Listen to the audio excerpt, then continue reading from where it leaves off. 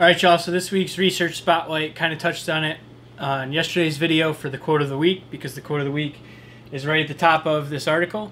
So the article is Sticks and Stones: The Impact of Language in Musculoskeletal Rehab. It's from 2018, and I loved this article. Um, it talks about language and how language is important, which, if you watched the video yesterday on the quote of the week, pretty much explains my thoughts on that uh, quote and a little bit about what the article goes into. But to explain it a little bit more, the article just really talks about how our language as healthcare practitioners really truly impacts our patients and their perceptions on pain, their perceptions on their body, their and their ability to cope with their injury that they're coming to see us with. And in this case, they talk about uh, musculoskeletal injuries.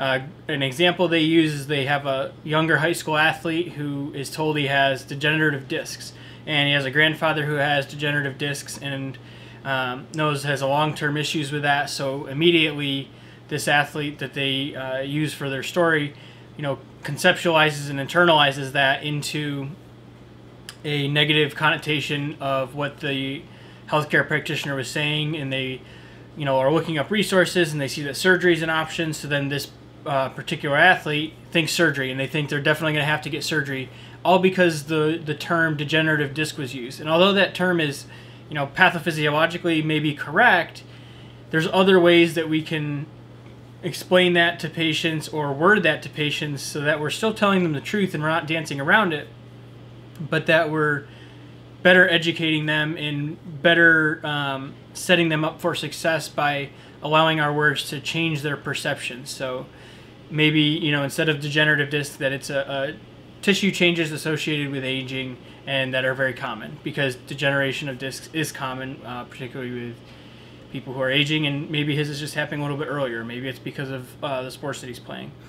Um, and one thing it talked about too is that because he is already um, fearful of this condition because he, of what he's seen with his grandfather, his uh, his brain is automatically going to go into a thought pattern of reinforcing his own ideas and conceptions. So when he sees surgery, although that's like not a very common intervention for somebody in his shoes, his brain automatically is going to go to that because it wants to reinforce the idea that he has in his head. And uh, that kind of follows along with some things about emotional perception and just general uh, cognitive psychology, at least from things that I've read and, and listened to through podcasts and things like that. I'm by no means an expert on that. I just have done some looking into it and listening to a lot of podcasts and reading some books about it.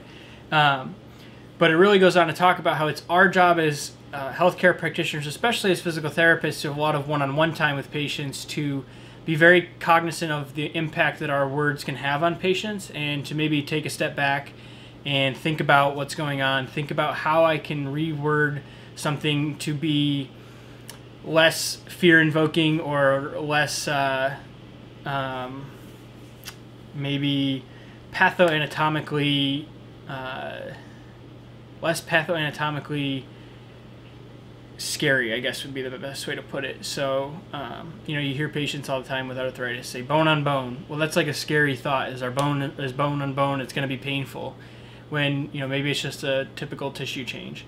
So it's a great article. It talks about uh, musculoskeletal injuries and kind of how to use language around those types of injuries. Doesn't get into the neuro population, but that's okay because I think these concepts and, and uh, ideas can really translate well into the neuro population um, which I'm a little bit more passionate about, especially with their di- diagnoses maybe being a little bit more life altering at time of onset. You know, uh, just because it might be a stroke or a spinal cord injury or something that's a little bit more life changing than than back pain. Um, I'm sure some people could argue against that, but um, so I think it's important that we, as people who are in neuro, like myself, also take this uh, information into consideration. So that's this week's article. Hopefully you uh, read it and get a chance to, you know, maybe change some some of the ways that you explain things to patients and slow down a, second and think about what uh, your wording is going to be because it has an impact. And uh, again, as I mentioned in yesterday's uh, quote of the week video, this does kind of touch on some of the ideas that uh, Dr. Tim Reynolds and I talked about in the first uh, A Beer and a Thought podcast with Dr. Rip.